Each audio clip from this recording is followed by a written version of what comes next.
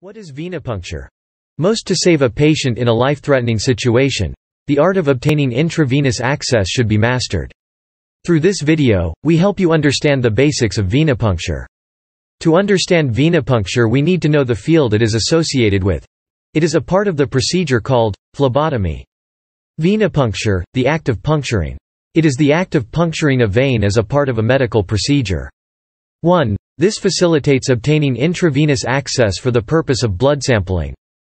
2. Also, it aids in intravenous therapy with fluids or medication for extended periods. 3. It is the most commonly adopted method for phlebotomy procedures.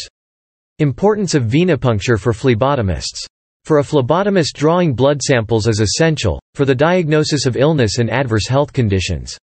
Venipuncture is important for the technicians as 1. It is a faster method of collecting samples as compared to the capillary method.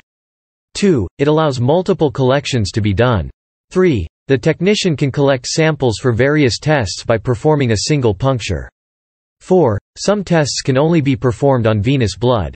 5. The presence of disease in a gland is tested by venous blood sampling. 6. Veins have less muscular tissue than arteries. 7. This facilitates phlebotomists to perform venipuncture with ease. 8. There is less likelihood of any contamination with tissue fluids. 9. In case of an episode of bleeding, it can be stopped quickly. 10. The blood pressure in veins is lesser than in arteries. 11. It is an important skill to be mastered in their career. 12. The physicians and laboratorians depend on phlebotomists for quality samples to be collected. 13. This aids the doctors to reach an accurate diagnosis, and thus devise the best treatment plan for the patient. Thanks for watching. Please like, share, subscribe.